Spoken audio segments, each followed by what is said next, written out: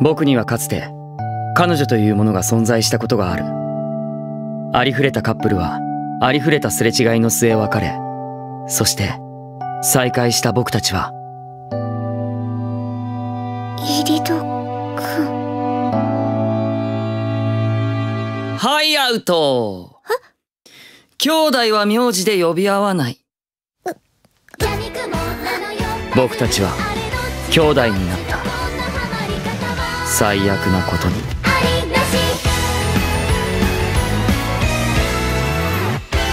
私たちはこれから前の関係を隠してそこそこ仲良しの義理の兄弟として暮らしていかなければならない。君の弟になるとかまっぴらごめんだ。イリドくんってゆめちゃんにはすっごく優しいんだね。え？どこが？どこがだろうね。入学直後のイリドイメブラコン宣言を本物にするのさ。私が水戸くんを。ラブ？申し訳ありませんけどそれは勘違いなのでは。君と僕とではここの出来が違う。昔はそんな意地悪言わなかったのに。そ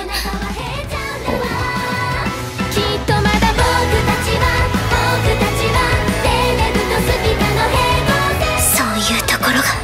そういうところが嫌いなのよ。